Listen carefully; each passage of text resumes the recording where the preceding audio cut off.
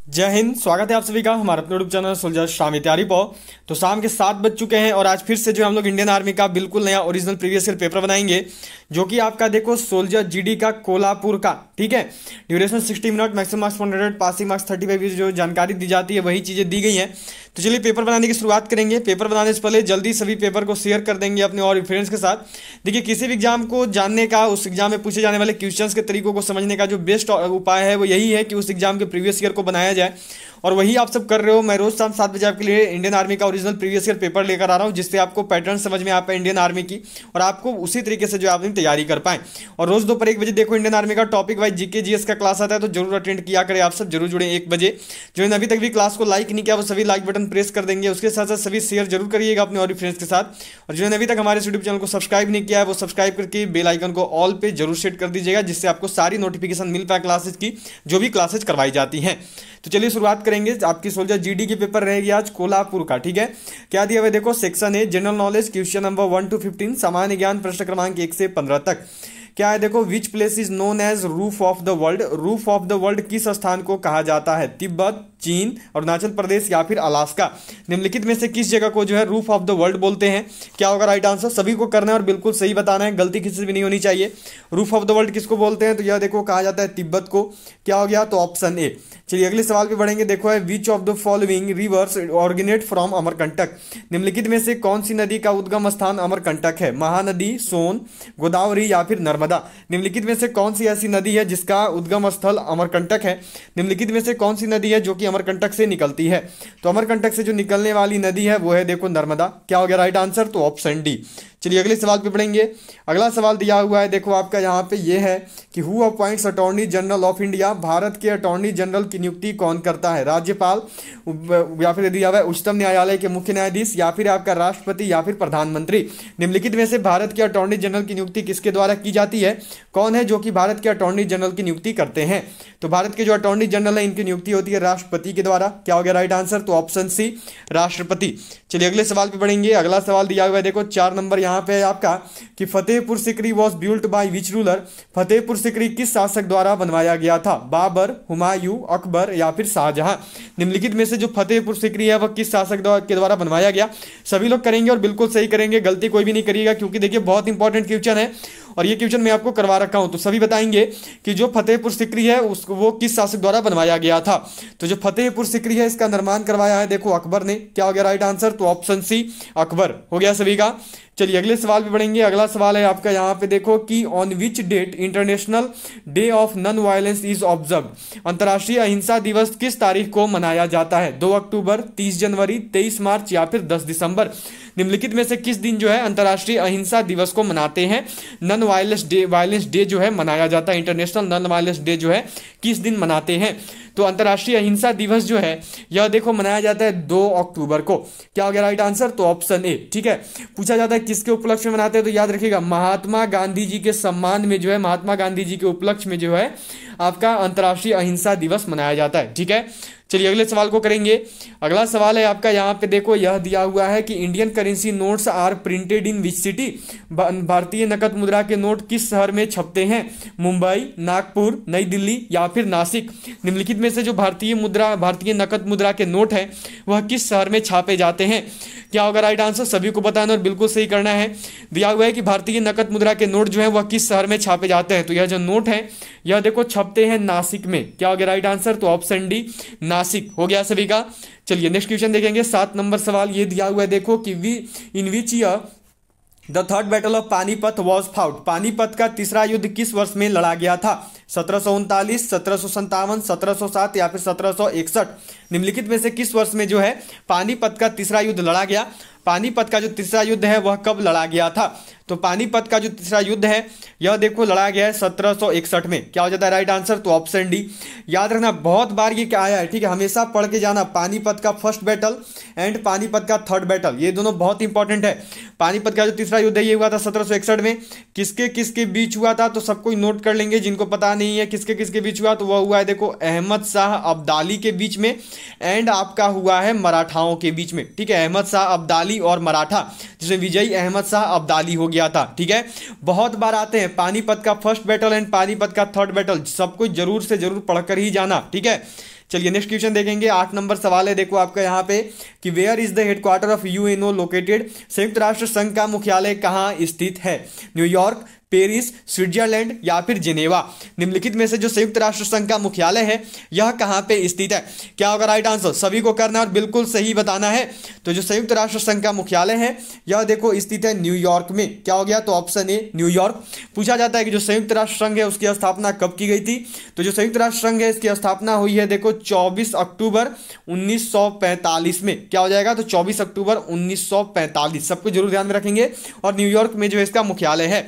चलिए अगले सवाल पे बढ़ेंगे। नौ नंबर सवाल है, देखो आपका यहाँ पे कि who among the following was known as lady with the lamp निम्नलिखित में से किसे लेडी विद द लैंप के नाम से जाना जाता है? एनी बेसेंट सरोजनी नायडू, इंदिरा गांधी या फिर फ्लोरेंस नाइटेंगल निम्नलिखित में से किसे जो है लेडी विद द लैंप बोलते हैं? क्या होगा राइट आंसर सभी लोग करेंगे और बिल्कुल सही बताएँगे। गलती कोई भी मत करिएगा।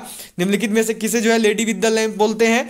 तो लेडी विद द लैंप जो है, यह देखो बुलाया जाता है फ्लोरेंस नाइटेंगल को। क्या हो गया राइट आंसर तो ऑप्शन डी हो गया सभी का। चलिए, अगले सवाल पे बढ़ेंगे। दस नंबर सवाल है आपका। देखो who was the author of the book my experiment with truth my experiment with truth पुस्तक के लेखक कौन थे? महात्मा गांधी, तारा अली बेग, मौलाना अब्दुल कलाम आज़ाद या फिर गोविंद वल्लभ पंत? निम्नलिखित में से जो माई एक्सपेरिमेंट विथ ट्रूथ नामक पुस्तक है, यह किसके द्वारा लिखी गई है? क्या होगा आंसर सभी को करना और बिल्कुल सही बताना है। तो जो माई एक्सपेरिमेंट विथ ट्रूथ है, यह देखो, लिखा गया है महात्मा गांधी जी के द्वारा। क्या हो गया? तो ऑप्शन ए चलिए अगले सवाल को करेंगे। अगला सवाल जो है, यह देखो यहाँ पे आपका दिया हुआ है नेक्स्ट क्वेश्चन है आपका यहाँ पे। यह आपको मिला हुआ है कि who who was the founder of Brahmo Samaj Brahmo समाज की स्थापना किसके द्वारा की गई थी? स्वामी विवेकानंद, दयानंद सरस्वती, राजा राम मोहन रॉय या फिर ज्योतिबा फुले देखो, मैंने हमेशा कहा है कि ये टॉपिक हमेशा क्वेश्चन आता है? प्रमुख संस्था है उनके संस्थापक आज ही आज ही एक बजे जो है ये वाला क्लास करवाया था मैंने। और ये क्वेश्चन मैंने आज के एक बजे वाले क्लास में भी करवाया है।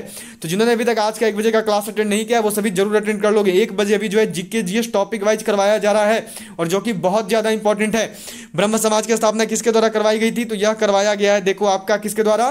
तो राजा राम राजा राम मोहन रॉय जी के द्वारा। क्या हो गया राइट आंसर तो ऑप्शन सी चलिए अगले सवाल को करेंगे। अगला सवाल है आपका। यहाँ पे देखो, यह दिया हुआ है कि in India election of Lok Sabha held after every year Bharat में लोकसभा के चुनाव कितने वर्षों बाद कराए जाते हैं? पाँच वर्ष, चार वर्ष, तीन वर्ष या फिर छह वर्ष? निम्नलिखित में से जो भारत में लोकसभा के चुनाव है, यह कितने वर्षों बाद कराए जाते हैं?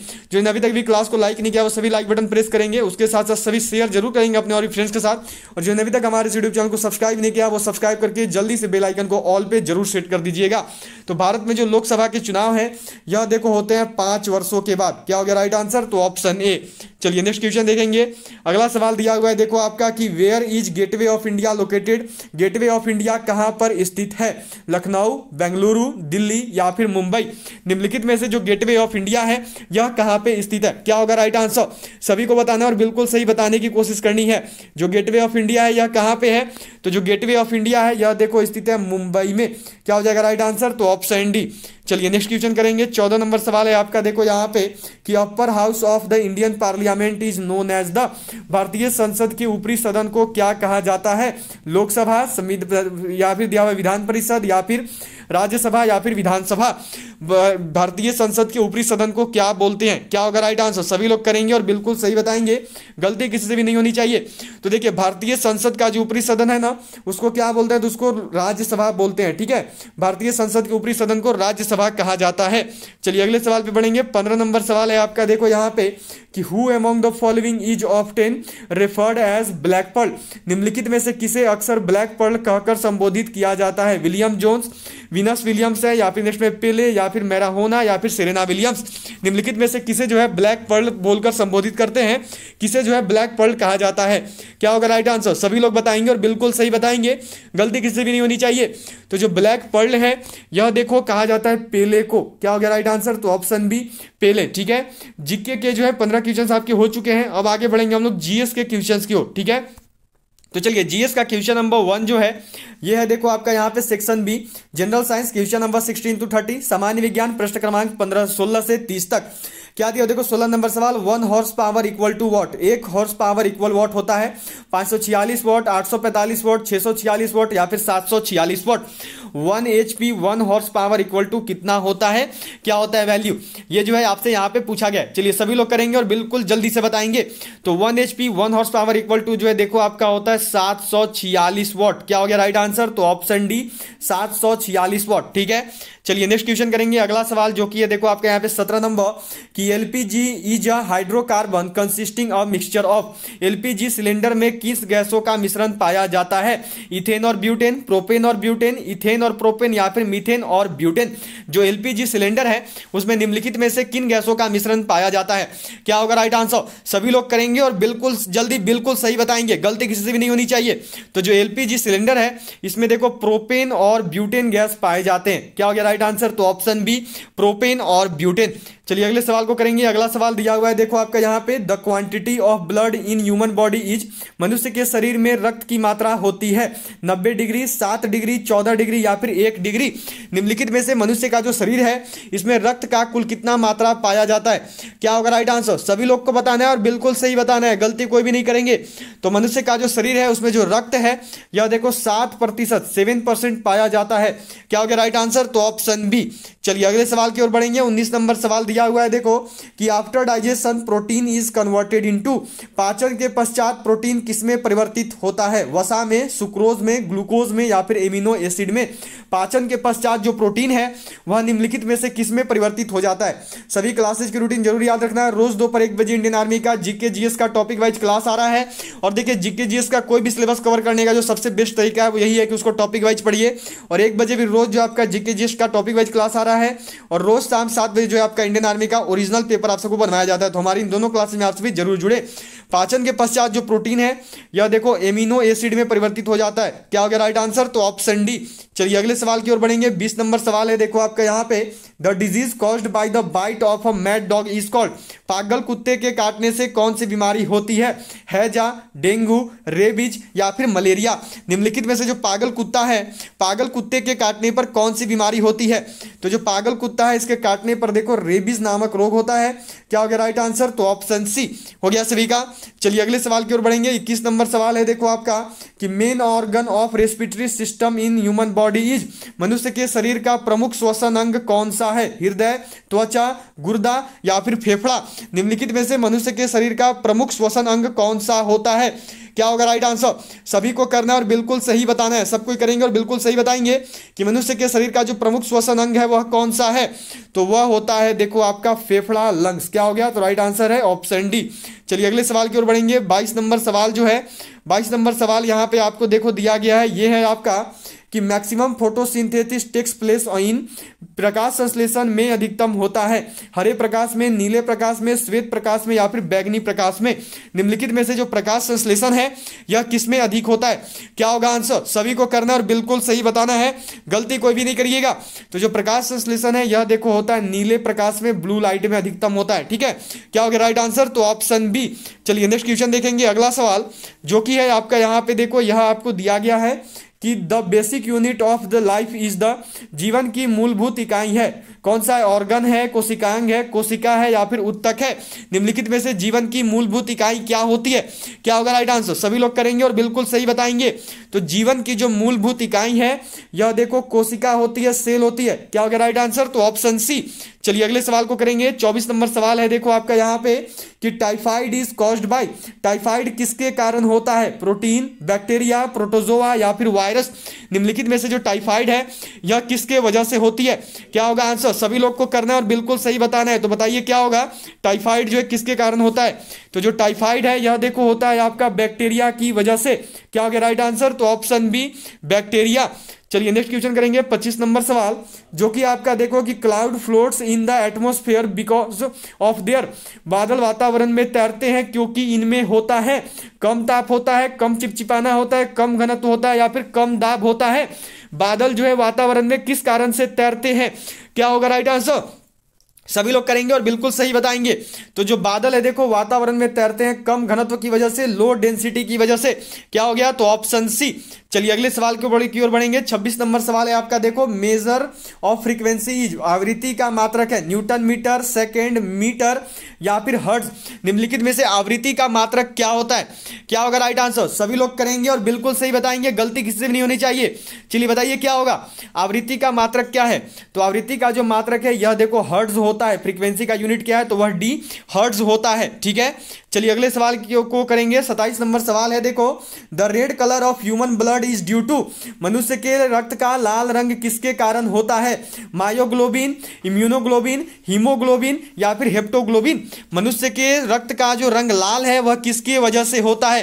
क्या होगा आंसर? सभी लोग बताइएगा और बिल्कुल सही बताइएगा। मनुष्य के रक्त का जो लाल रंग है, यह देखो होता है किसकी वजह से? तो यह होता है हीमोग्लोबिन की वजह से। क्या हो गया? तो ऑप्शन सी हो गया सभी का। चलिए, अब जो है बढ़ेंगे अट्ठाईस नंबर सवाल पे अट्ठाईस नंबर सवाल है, देखो, कि which of the following is a non magnetic material निम्नलिखित में से एक अचुंबकीय धातु है, निकेल। टीन, लोहा या फिर कोबाल्ट। निम्नलिखित में से कौन सा ऐसा धातु है जो कि एक अचुंबकीय धातु है? क्या होगा राइट आंसर सभी लोग को करना है और बिल्कुल सही बताना है। गलती मत करिएगा। बताइए यहाँ पे क्या होगा? निम्नलिखित में से कौन सा जो है एक अचुंबकीय धातु है? तो निम्नलिखित में से जो अचुंबकीय धातु है, वो है देखो आपका टीन। क्या हो गया राइट आंसर तो ऑप्शन बी चलिए अगले सवाल को करेंगे। उनतीस नंबर सवाल है देखो आपका यहाँ पे। कि the process of rusting of iron is called लोहे को जंग लगने की प्रक्रिया कहलाती है। अवकरण, द्रव्यमान, अवशोषण या फिर ऑक्सीकरण।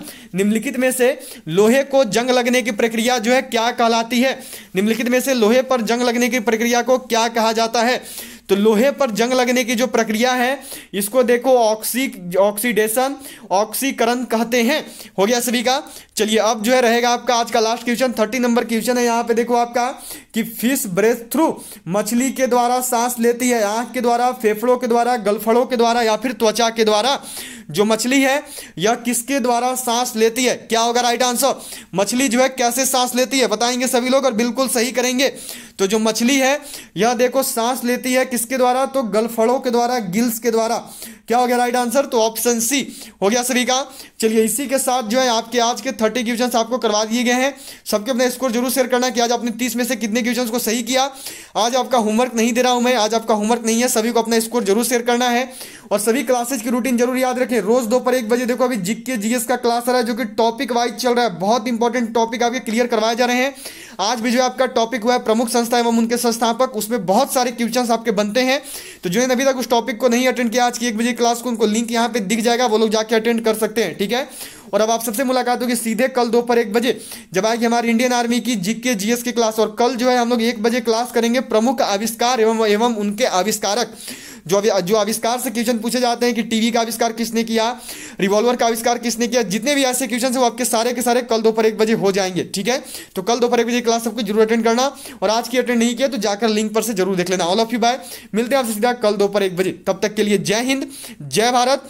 Have a good night sweet dreams मिलूँगा आपसे सीधा कल दोपहर एक बजे। जय हिंद, जय भारत।